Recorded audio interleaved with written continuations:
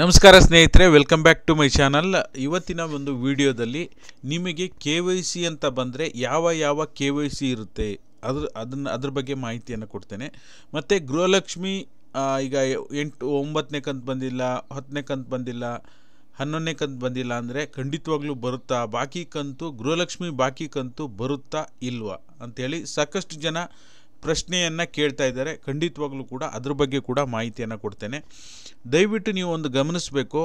ಗೃಹಲಕ್ಷ್ಮಿ ಅಥವಾ ಅನ್ನಭಾಗ್ಯ ಯೋಜನೆಗೆ ಸಂಬಂಧಪಟ್ಟ ಹಾಗೆ ನೀವು ಯಾವ ತಪ್ಪು ಮಾಡಬಾರ್ದು, ಯಾವ ತಪ್ಪು ಯಾವ ಕೆಲಸ ಮಾ, ಕಡ್ಡಾಯವಾಗಿ ಮಾಡಲೇಬೇಕು, ಯಾವ ತಪ್ಪನ್ನು ಮಾಡಬಾರ್ದು ಈ ರೀತಿ ಸಂಬಂಧಪಟ್ಟಾಗೆ ನಿಮಗೇನು ಡೌಟ್ಗಳಿದೆ ಅದನ್ನೆಲ್ಲವನ್ನು ಕೂಡ ಬೆಳಗ್ಗಿನ ವಿಡಿಯೋದಲ್ಲಿ ಒಂದು ವಿಡಿಯೋದಲ್ಲಿ ಕಂಪ್ಲೀಟ್ ಇನ್ಫಾರ್ಮೇಷನ್ನ ಕೊಡುವಂಥ ಕೆಲಸ, ಅದರ ಜೊತೆಯಲ್ಲಿ ಹೊಸ ಒಂದು ಯೋಜನೆ ಬಗ್ಗೆ ಮಾಹಿತಿಯನ್ನು ಈ ಒಂದು ವಿಡಿಯೋದಲ್ಲಿ ಕೊಡ್ತಾ ಇರ್ತೀನಿ ಓಕೆನಾ ಇವತ್ತು ಅಂತಲ್ಲ ಪ್ರತಿದಿನವೂ ಅಷ್ಟೇ, ಏನಾದರೂ ಮಾಡಿ ಒಂದು ಇಪ್ಪತ್ನಾಲ್ಕು ಗಂಟೆಯಲ್ಲಿ ರಿಸರ್ಚ್ ಮಾಡಿ ತಿಳ್ಕೊಂಡು ನಿಮಗೆ ಒಂದು ಒಂದು ಯೋಜನೆ ಬಗ್ಗೆ ಮಾಹಿತಿ ಕೊಡ್ತಾ ಇರ್ತೀನಿ. ಇವತ್ತು ಹಾಗೆ, ನಿಮ್ಮ ಹತ್ರ ಯಾವುದೇ ಅಡಮಾನವನ್ನು ಇಡದೆ, ಬರೀ ಒಂದು ಆಧಾರ್ ಕಾರ್ಡನ್ನು ಇಟ್ಕೊಂಡು ನೀವು ಐವತ್ತು ಸಾವಿರದವರೆಗೂ ಕೂಡ ಕೇಂದ್ರ ಸರ್ಕಾರದಿಂದ ಹಣವನ್ನು ಪಡ್ಕೋಬೋದು. ಹೇಗೆ? ಎಲ್ಲ ಮಾಹಿತಿ ವಿಡಿಯೋದಲ್ಲಿ ತಿಳಿಸ್ಕೊಡ್ತೀನಿ. ಮೊದಲನೇದಾಗಿ ಗೃಹಲಕ್ಷ್ಮಿ ಬಾಕಿ ಕಂತು ಬಗ್ಗೆ ತಿಳಿಸ್ಕೊಡ್ತೀನಿ. ದಯವಿಟ್ಟು ದಯವಿಟ್ಟು ಯಾರೆಲ್ಲ ನೋಡ್ತಾ ಇದ್ದೀರಾ ಪ್ರತಿಯೊಬ್ಬರು ವೀಡಿಯೋಕ್ಕೊಂದು ಲೈಕ್ ಕೊಡೋ ಮೂಲಕ ಸಪೋರ್ಟ್ ಮಾಡಿ. ನೀವೇನಾದರೂ ಹೊಸದಾಗಿ ನಮ್ಮ ಚಾನಲ್ ನೋಡ್ತಿದ್ದೀರಾ ಅಂದರೆ ಸಬ್ಸ್ಕ್ರೈಬ್ ಮಾಡ್ಕೊಳ್ಳಿ. ವಿಡಿಯೋನ ಪೂರ್ತಿಯಾಗಿ ನೋಡಿ. ಓಕೆನಾ? ಬನ್ನಿ ವಿಡಿಯೋನ ಮೊದಲನೇದಾಗಿ ಸ್ಟಾರ್ಟ್ ಮಾಡೋಣ.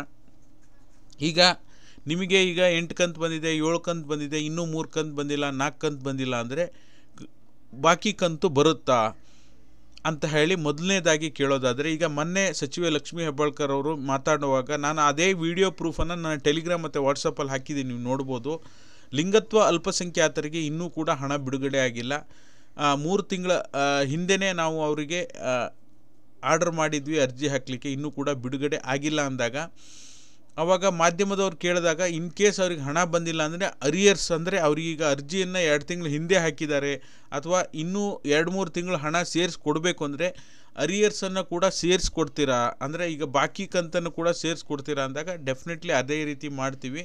ಯಾಕೆ ಅಂದರೆ ನಮ್ಮ ಹತ್ರ ಅರ್ಜಿ ಹಾಕಿರೋವಂಥ ದಿನಾಂಕ ನಮ್ಮ ಹತ್ರ ಇರುತ್ತೆ. ಅರ್ಜಿ ಹಾಕಿರೋ ದಿನಾಂಕ ನಾವು ಯಾವ ತಿಂಗಳು ಅವರಿಗೆ ಮಂಜೂರಾತಿ ಪತ್ರ. ನೀವೀಗ ಗಮನಿಸಿರ್ಬೋದು, ಮಂಜೂರಾತಿ ಪತ್ರ ಅಂಥೇಳಿ ಗೃಹಲಕ್ಷ್ಮಿ ಯೋಜನೆಗೆ ಹಾಕಿದಾಗ ಮಂಜೂರಾತಿ ಪತ್ರ ಅಂಥೇಳಿ ಕೊಡ್ತಾರೆ. ಆ ಮಂಜೂರಾತಿ ಪತ್ರವನ್ನು ಯಾವ ತಿಂಗಳು ಕೊಟ್ಟಿದ್ದಾರೆ, ಆ ತಿಂಗಳಿಂದನೂ ಕೂಡ ನಾವು ಗೃಹಲಕ್ಷ್ಮಿ ಹಣವನ್ನು ಕೊಡ್ತೀವಿ ಅಂಥೇಳಿ ಹೇಳಿದ್ದಾರೆ. ಹಾಗಾಗಿ ಅವ್ರ ಹತ್ರ ಈಗ ಆ ಮದ್ಯದ ಮದ್ಯ ಕಂತುಗಳನ್ನು ಸ್ಕಿಪ್ ಮಾಡಿ ಹಾಗೆ ಕೊಡೋದು ಬರೋದಿಲ್ಲ. ಬಹುತೇಕ ಜನರಿಗೆ ಈಗ ಬಾಕಿ ಕಂತು ಬರದೇ ಇರೋರಲ್ಲಿ ಎರಡು ವರ್ಗ ಇದ್ದಾರೆ ಓಕೆನಾ ಬಾಕಿ ಕಂತು ಯಾರ್ಯಾರಿಗೆ ಬಂದಿಲ್ಲ, ಅವರಲ್ಲಿ ಎರಡು ವರ್ಗದ ಜನರಿದ್ದಾರೆ. ಒಂದು G S T income tax ಅಂತ ಹೇಳಿ ಟೆಕ್ನಿಕಲ್ ಇಶ್ಯೂಯಿಂದ ಬಂದಿದೆ. ಅವ್ರು G S T income tax pay ಮಾಡದೇ ಇರೋರಿಗೆ ಜಿ ಎಸ್ ಟಿ ಅಂತ ಬಂದುಬಿಟ್ಟಿದೆ. ಇನ್ನು ಕೆಲವರಿಗೆ ಅವ್ರದ್ದು ಜಿ ಎಸ್ ಟಿ ಅಂತ ಏನು ಇನ್ಫಾರ್ಮೇಷನ್ ಇಲ್ಲ. ಅರ್ಜಿ ಸ್ಟೇಟಸ್ ಚೆಕ್ ಮಾಡಿದಾಗ ಪುಷ್ಟು ಡಿ ಬಿ ಟಿ ಅಂತ ಇದೆ ಬಟ್ ಆದರೆ ಹಣ ಮಾತ್ರ ಬರ್ತಾ ಇಲ್ಲ. ಈ ರೀತಿಯಾಗಿದೆ ಯಾರ್ಯಾರಿಗೆ G S T income tax ಅಂತ ಬಂದಿದೆಯೋ, ಅವರು ನಿಮ್ಮ ಹತ್ತಿರದ ಸಿ ಡಿ ಪಿ ಒ ಕಚೇರಿ ಲೆಟರ್ ಕೊಟ್ಟಿದ್ದೀರಾ, ಅವರಿಗೆ ಸ್ವಲ್ಪ ಲೇಟ್ ಆಗ್ಬೋದು, ಹಣ ಬರೋದು, ಇನ್ನೂ ಲೇಟ್ ಆಗ್ಬೋದು. ಬಟ್ ಆದರೆ ಇನ್ನೂ ಪುಷ್ಟು ಡಿ ಬಿ ಟಿ ಇದೆ, ಇನ್ನೂ ಕಾಯ್ತಾ ಇದ್ದೀರಾ, ಎಂಟನೇ ಕಂತು ಬಂದಿಲ್ಲ, ಒಂಬತ್ತನೇ ಕಂತು ಬಂದಿಲ್ಲ ಅಂದರೆ ಖಂಡಿತವಾಗ್ಲೂ ನಿಮಗೆ ಬರುತ್ತೆ ಬಂದೇ ಬರುತ್ತೆ ಅನ್ನೋ ವಿಶ್ವಾಸ ನಮಗೂ ಕೂಡ ಇದೆ, ಸರ್ಕಾರನೂ ಕೂಡ ಕೊಡ್ತಾ ಇದೆ. ಹಾಗಾಗಿ ದಯವಿಟ್ಟು ಯಾರೆಲ್ಲ ನೀವು ಗೃಹಲಕ್ಷ್ಮಿ ಯೋಜನೆಗೆ ಬಾಕಿ ಕಂತಿಗೋಸ್ಕರ ವೆಯ್ಟ್ ಮಾಡ್ತಾ ಇದ್ದೀರಾ, ಖಂಡಿತವಾಗ್ಲೂ ವೆಯ್ಟ್ ಮಾಡಿ. ವೆಯ್ಟ್ ಮಾಡೋದಕ್ಕಿಂತ ಮೊದಲು ನಾವೇನು ಮಾಡಬೇಕು ಅಂತ ಕೇಳ್ತೀರಾ, ನಿಮ್ಮ ಅರ್ಜಿ ಸ್ಟೇಟಸ್ ಚೆಕ್ ಮಾಡಿ ಜಿ ಎಸ್ ಟಿ ಬಂದರೆ ನೀವು ಸುಮ್ಮನೆ ಇದ್ದರೆ ಆಗಲ್ಲ. ಜಿ ಎಸ್ ಟಿ ಪೇಯರ್ ಆಗಿದ್ದರೆ ಖಂಡಿತವಾಗ್ಲೂ ಬರಲ್ಲ. ಇನ್ಕಮ್ ಟ್ಯಾಕ್ಸ್ ಪೇಯರ್ ಆಗಿದ್ದರೆ ಖಂಡಿತವಾಗ್ಲೂ ಬರಲ್ಲ.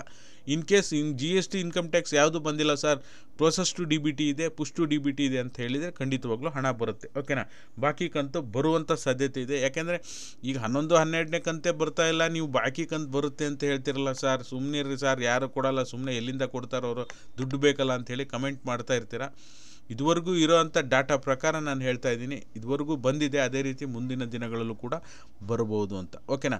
ಇದು ಗೃಹಲಕ್ಷ್ಮಿ ಯೋಜನೆಗೆ ಸಂಬಂಧಪಟ್ಟ, ಬಾಕಿ ಕಂತಿಗೆ ಸಂಬಂಧಪಟ್ಟ ವಿಷಯ ಆಯಿತು.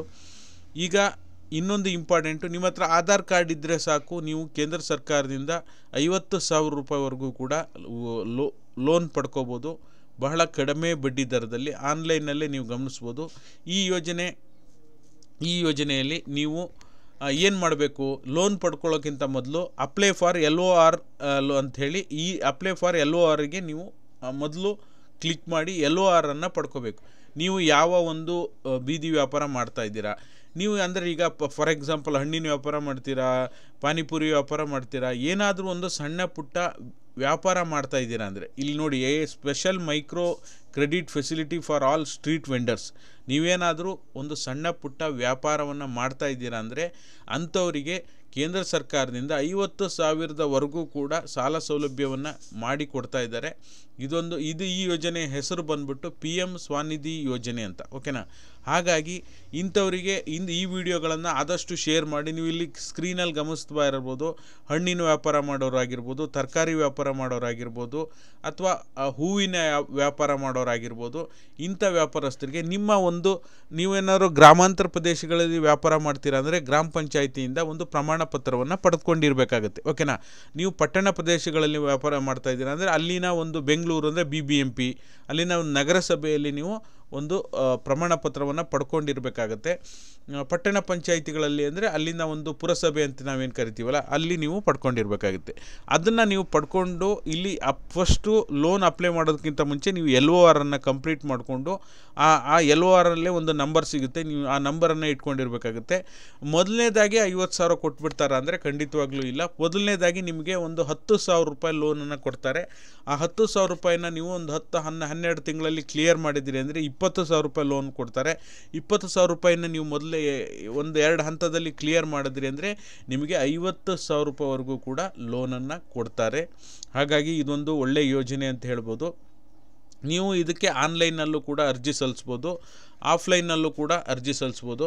ಆನ್ಲೈನಲ್ಲಿ ಯಾವುದೇ ಸಿ ಎಸ್ ಸಿ ಕೇಂದ್ರಕ್ಕೆ ಹೋಗಿ ಅರ್ಜಿ ಸಲ್ಲಿಸ್ಬೋದು. ಆನ್ಲೈನ್ನಲ್ಲಿ ಅಂದರೆ ನಿಮ್ಮ ಮೊಬೈಲ್ನಲ್ಲೇ ಅರ್ಜಿ ಸಲ್ಲಿಸ್ಬೋದು. ಓಕೆನಾ? First apply for L O R ಅಂತ ಹೇಳಿ ಮಾಡ್ಕೊಂಬಿಟ್ಟು ಆಮೇಲೆ ಹತ್ತು ಸಾವಿರಕ್ಕೆ ನೀವು ಅರ್ಜಿಯನ್ನು ಸಲ್ಲಿಸ್ಬೇಕಾಗತ್ತೆ. ಓಕೆನಾ?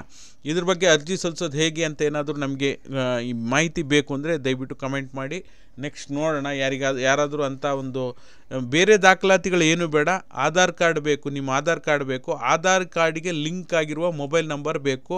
ಒಂದು ಸರಿ ನಿಮಗೆ ಲೋನ್ ಅಪ್ರೂವ್ ಆಯಿತು ಅಂದರೆ ನೀವು ಅದು ಏನು ಇಲ್ಲಿ ಆನ್ಲೈನ್ನಲ್ಲಿ ನೀವು ಡೇಟಾ ಕೇಳ್ತಾ ಹೋಗುತ್ತೆ, ಆ ಡೀಟೇಲ್ಸನ್ನು ನಿಮ್ಮ ಅಡ್ರೆಸ್ ಆಗಿರ್ಬೋದು, ನೀವು ಏನು ವ್ಯಾಪಾರ ಮಾಡ್ತೀರಾ, ಯಾವ ರೋಡಲ್ಲಿ ಮಾಡ್ತಿದ್ದೀರಾ, ನೀವು ನಿಮ್ಮ ಯಾವ ಮುನ್ಸಿಪಲ್ ಮುನ್ಸಿಪಾಲ್ಟಿಯಿಂದ ನೀವು ಪ್ರಮಾಣ ಪತ್ರ ಪಡ್ಕೊಂಡಿದ್ದೀರಾ, ಇದೆಲ್ಲ ಕೇಳ್ತಾ ಹೋಗುತ್ತೆ, ಅದನ್ನೆಲ್ಲ ಫಿಲಪ್ ಮಾಡ್ತಾ ಹೋಗಬೇಕು. ಇಲ್ಲಿ ಕೆಳಗಡೆ ಕೊಟ್ಟಿದ್ದಾರೆ ನೋಡ್ರಿ if you change your mobile number please click and login with Aadhaar and your mobile number ಅಂದರೆ ನೇರವಾಗಿ ಡಿ ಬಿ ಟಿ ಮೂಲಕ ನಿಮಗೆ ನಿಮ್ಮ ಅಕೌಂಟಿಗೆ ಹತ್ತು ಸಾವಿರ ರೂಪಾಯಿ ಲೋನ್ ಸಿಗುತ್ತೆ.